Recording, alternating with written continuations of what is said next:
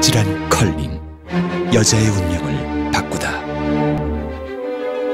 더 이상 값비싼 수입 화장품에 의존하지 않도록 운명의 마스카라 미샤 테크니컬업 마스카라 많은 환자들이 드나드는 병원에는 어느 곳보다 많고 다양한 세균들이 존재한다고 합니다.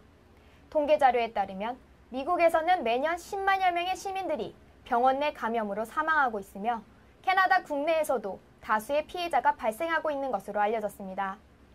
병원은 병균을 다루고 처리하는 장소인 만큼 의료진의 손이나 의료기구, 실내 공기, 물, 환자들을 통해 병균에 감염될 위험이 항상 존재하고 있다고 합니다.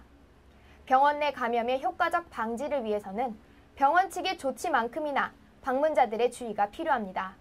병원 내 감염을 예방할 수 있는 네 가지 지혜는 첫째, 병원에 예약 후 방문할 때에는 이왕이면 아침 시간을 이용하도록 하는 것입니다.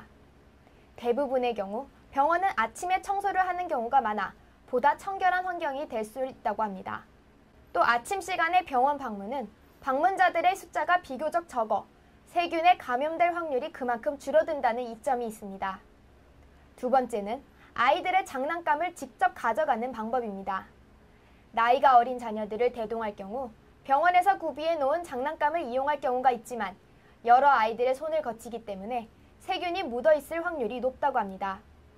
귀가 후 세척제를 이용해 병원에 가져간 장난감을 깨끗하게 세척하는 것 또한 잊어서는 안 된다고 합니다.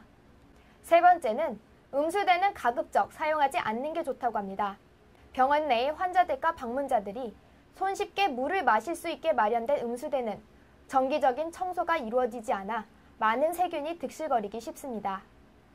음수대의 물을 마실 경우 세균이 물을 통해 그대로 인체로 흡수될 수 있습니다. 네 번째는 병원 방문 후 뒤처리에 만전을 기해야 한다고 합니다. 집에 돌아와서는 비누와 흐르는 물을 사용해 20초 이상 손을 꼼꼼히 씻는 것이 좋으며 병원에서 입었던 옷은 바로 벗어 세제와 함께 뜨거운 물에 세척하는 것이 좋다고 합니다.